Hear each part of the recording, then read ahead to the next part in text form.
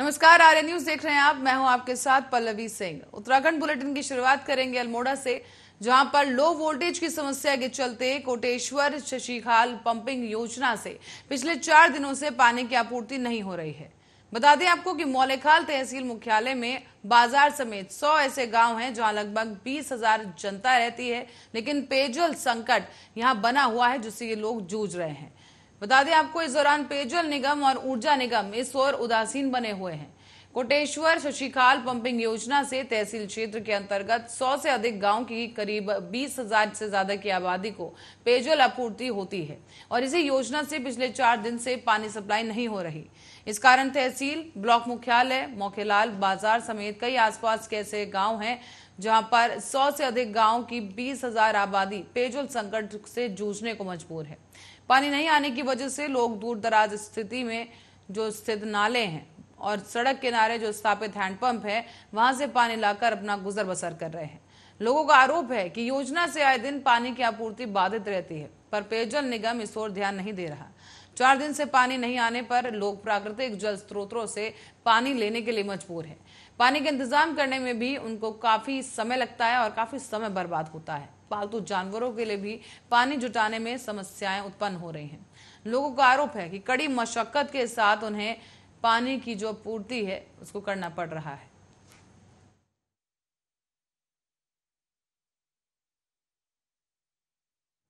और इस बीच नैनीताल ज़िले का हल्द्वानी शहर अपराध का गढ़ बनता जा रहा है। काठ गोदाम से हल्द्वानी पहुँचने में ही करीब चार गुना अपराध बढ़ने लगे हैं। पुलिस का crime and criminal tracking network और सिस्टम ये बता रहा है कि साल 2022 के छह महीने की स्थिति देखी जाए तो हल्द्वानी कोतवाली में जनवरी से लेकर अब तक तीन वनबुलपुरा में 205 मुखानी में एक सौ तिरपन और काठ गोदाम में बयासी मुकदमे दर्ज किए गए। साल 2020 की बात करें तो इस तरह के अपराध का ग्राफ 24 जुलाई तक पहुँचा था और इसी तरह अन्य थानों की स्थिति भी देखने को मिली थी, जहाँ सबसे कम अपराध काट गोदाम थाना क्षेत्र में देखने को मिले हैं।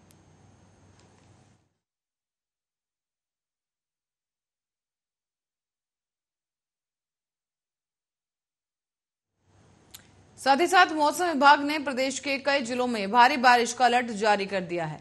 मौसम विभाग ने पूर्वानुमान लगाया है और इस पूर्वानुमान के मुताबिक आने वाले चार दिन उत्तराखंड के लिए भारी हो सकते हैं।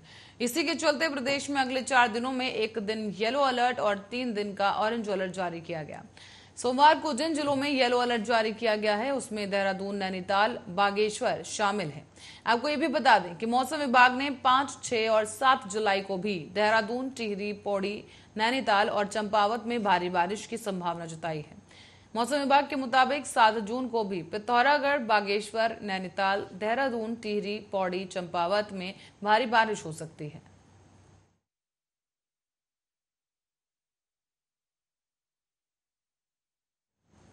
और इस बीच रुक करेंगे हरिद्वार का, जहाँ पर मिठाई की दुनिया में जाना पहचाना नाम गोयल स्वीट्स के मालिक से 20 लाख रुपए की रंगदारी मांगने का मामला सामने आया। और इस मामले का पुलिस ने चंद ही घंटों बाद खुलासा कर दिया है। साथ ही साथ रंगदारी मांगने वाले आरोपी को गिरफ़्तार कर लिया गया। पुलिस के मुताबिक आरोपी इंजीनियरिंग का एक छात्र है और गोयल स्वीट्स के यहाँ पर पहले कैशियर रह चुका है। वो अपना रेस्टोरेंट खोलना चाहता था, जिसके लिए उसे पैसों की ज़रूरत थी और उसने ये रास्ता अपनाया है। पुलिस ने आरोपी को फ़िलहाल गिरफ़्तार कर न्यायालय के सामने पेश किया। अब उसे जेल भेजने की तैयारी की जा रही है। तो वहीं दूसरे आरोपी की तलाश भी इस वक्त जोरों पर है। आपको बता दें कि अनजान नंबर से गोयल स्वीट्स के मालिक को एक मैसेज आया। मैसेज पर रंगदारी मांगी गई थी और रकम ना देने पर जान से मारने की धमकी भी दी गई। पुलिस ने मुकदमा दर्ज कर जाँच शुरू की थी, लेकिन जिस नंबर से मैसेज भेजा गया, पुलिस ने जाँच करते हुए तत्काल ही आरोपी तक की जो सफ़र था वो तय किया और इस आरोपी को धर दबोचा गया है। बता दें, फ़िलहाल पुलिस ने इस आरोपी को हिरासत में लेकर पूछताछ की तो सारा चिट्ठा सामने आ गया।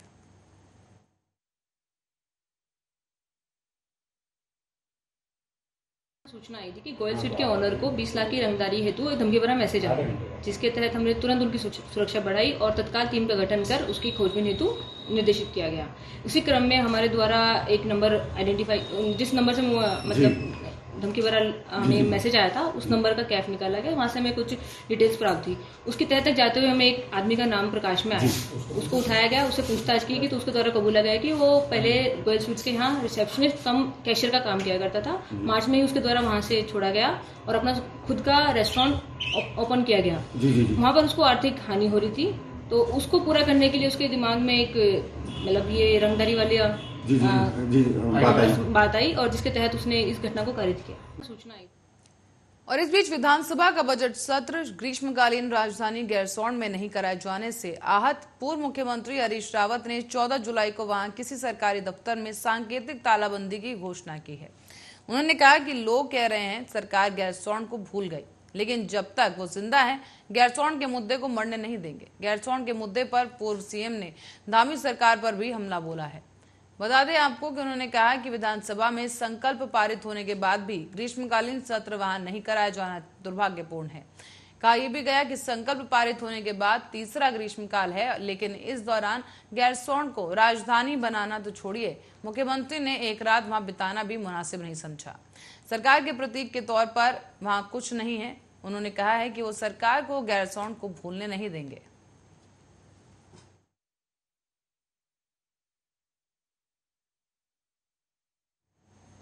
और इस बीच पहाड़ों में स्वास्थ्य सुविधाओं की बानगी। रविवार को उस समय देखने को मिली जब प्रसव की पीड़ा से करा रही एक गर्भवती को सामुदायिक स्वास्थ्य केंद्र में इलाज नहीं मिला।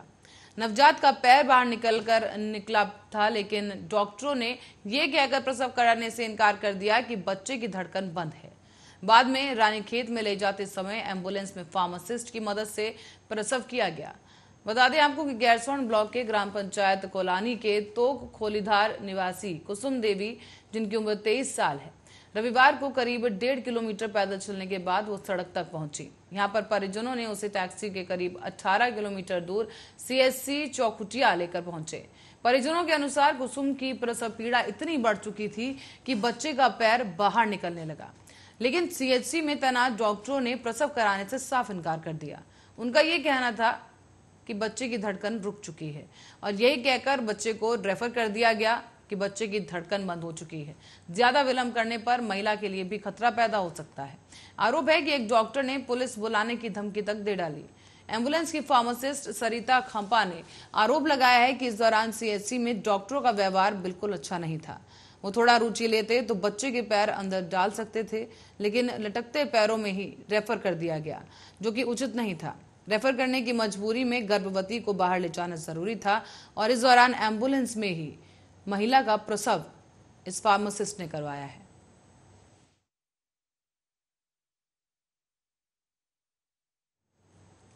और इस बीच मानसून आगमन के साथ साथ उत्तराखंड के कई इलाकों में भारी बारिश की चेतावनी जारी है।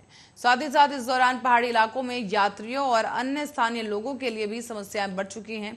हालिया खबरों के तहत देहरादून इलाके में भारी बारिश के चलते, भारी बारिश के चलते पेड़ उखड़कर सड़कों पर गिर गए हैं। इसी के बीच देहरादून की सड़कों पर जो गाड़ियाँ हैं, उनके बोनट पर पेड़ गिर रहे हैं, जिसकी वजह से गाड़ियाँ क्षतिग्रस्त हुई। बताया जा रहा है कि भारतीय मौसम विज्ञान विभाग ने भी उत्तराखंड में जुलाई के महीने में पहले सप्ताह में ही भारी बारिश होने को लेकर अलर्ट जारी किया था। साथ ही साथ पहाड़ी इलाकों में, यात्रा पहाड़ी इलाकों में यात्रा कर रहे लोगों को विशेष रूप से सतर्क और सजग रहने की हिदायत दी गई। मौसम के, मानसून के जो मौसम है, उसके आमतौर पर पहाड़ी इलाकों में पेड़ टूटने की घटनाएँ सामने आती रही हैं। भूस्खलन, पहाड़ से पत्थर टूटकर गिरना, ऐसी तमाम समस्याएँ मानसून के समय पहाड़ी इलाकों में देखने को मिलती हैं। और इसी संबंध में ये जो समस्याएँ हैं, वो बनी रहती हैं। इसी को लेकर खासतौर पर पर्यटकों को विशेष रूप से सावधान रहने की आवश्यकता बताई गई।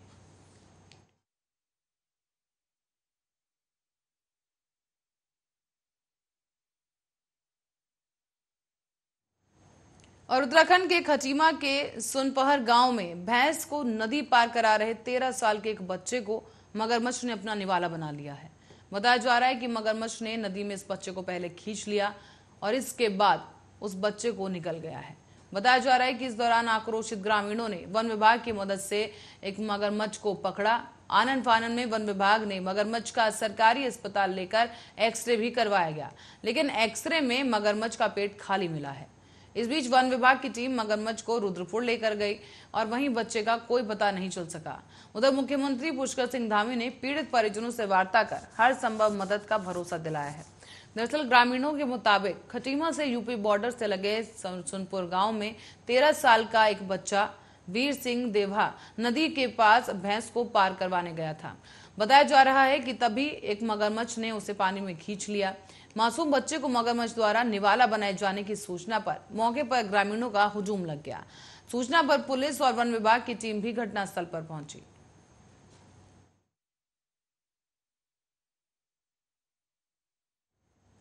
और इस बीच स्टार्टअप को बढ़ावा देने के लिए प्रदेश के 10 युवाओं को सर्वश्रेष्ठ नवाचार आइडिया का पुरस्कार दिया जाएगा। 6 जुलाई को होने वाले इस समारोह में मुख्यमंत्री पुष्कर सिंह धामी युवाओं को पुरस्कार से सम्मानित करेंगे। साथ ही साथ सरकार की ओर से पचास पचास हज़ार रूपए का पुरस्कार राशि दी जाएगी और स्टार्टअप क्षेत्र में नवाचार आइडियाज़ तलाशने के लिए उद्योग विभाग की ओर से हर साल प्रदेश के उच्च शिक्षक संस्थानों में बूट कैंप आयोजित किए जाते हैं।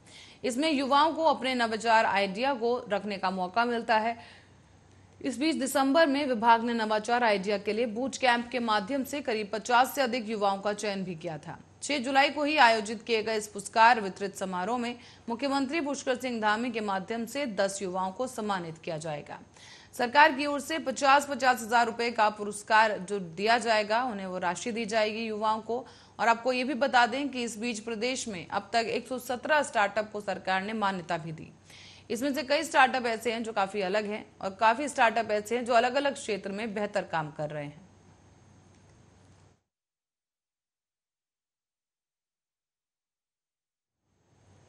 और अब रुक करेंगे अगली खबर की ओर जो कि छत्तीसगढ़ से है। छत्तीसगढ़ में इस वक्त झमाझम और मूसलाधार बारिश हो रही है और इस बारिश का प्रकोप देखने को मिला, जिसका नतीजा आज जांजगीर चांपा में दिखा है। बताया जा रहा है कि मूसलाधार बारिश के चलते नदियों का पानी और नदियों का जलस्तर जो है वो काफ़ी बढ़ चुका है। नदी में नहा रहे इस दौरान दो युवक बह गए हैं। दरअसल ये पूरा मामला है पामगढ़ विधानसभा क्षेत्र के गाँव पंचायत पनगांव का। यहाँ पर नदी के पानी का जल स्तर काफ़ी बढ़ गया और इसमें नहा रहे दो युवक नदी के पानी में बहने लगे। इसे देखते ही ग्रामीणों द्वारा बचाने की कोशिश की गई। कड़ी मुशक्कत के बाद ग्रामीणों ने एक युवक को बचा लिया, लेकिन दूसरा युवक पानी के बहाव में बहता चला गया। बताया जा रहा है कि इस वक्त उस दूसरे युवक की तलाश जारी है। मिली जानकारी के अनुसार पनगांव नाले के स्टॉप में दोनों बच्चे ये नहा रहे थे, लेकिन इसी दौरान ये पूरी घटना हुई, जिसमें एक बच्चे को बचा लिया गया, जबकि दूसरा अभी भी लापता है। बताया जा रहा है जिस बच्चे को बचा लिया गया, उसका नाम उमेश उमरा है, जिसकी उम्र 19 साल है। और नदी में बह गए दूसरे युवक का नाम सेमंत यादव बताया गया है, जिसकी उम्र 22 साल है। साथ ही आपको बता दें कि लापता युवक की तलाश करने के लिए मौके पर रेस्क्यू की टीम भी मौजूद है और युवक की तलाश लगातार जारी है। और इस घटना के बाद पूरे मामले की जाँच में प्रशासनिक अधिकारी अभी भी जुटे हुए हैं।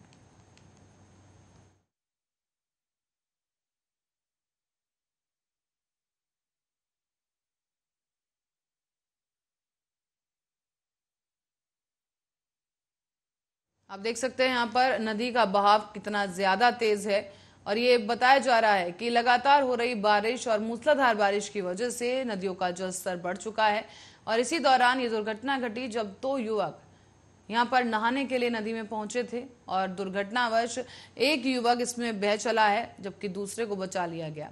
फ़िलहाल गोताखोरों की मदद से और पुलिस की जो रेस्क्यू टीम वहाँ मौजूद है, उसकी वजह से दूसरे युवक जो बह गया है, उसकी तलाश की जा रही है। लेकिन इस बीच नदी का जलस्तर बढ़ चुका है और लगातार ये अपील लोगों से की जा रही है कि नदियों से दूर रहा जाए, क्योंकि जलस्तर बढ़ने की वजह से इस तरह के हादसे हो सकते हैं और सतर्कता बरतने के लिए हिदायत भी पुलिस की तरफ़ से दी गई है। आपको बता दें कि देश में मानसून की एंट्री हो चुकी है। देश के कई इलाकों में और कई जिलों में तेज़ी के साथ बारिश हो रही है और मौसम विभाग की तरफ़ से भी अलर्ट जारी कर दिया गया है और लगातार ये हिदायत दी जा रही है कि सावधानी बरती जाए। इसी बीच ये मामला सामने आया जांजगीर चांपा से, जहाँ पर दो युवक नदी में नहाने के लिए पहुँचे थे, लेकिन जलस्तर बड़ा होने की वजह से और नदी के तेज बहाव की वजह से ये दोनों नदी में बह गए, जिसमें से एक को बचा लिया गया है और दूसरा अभी भी लापता है।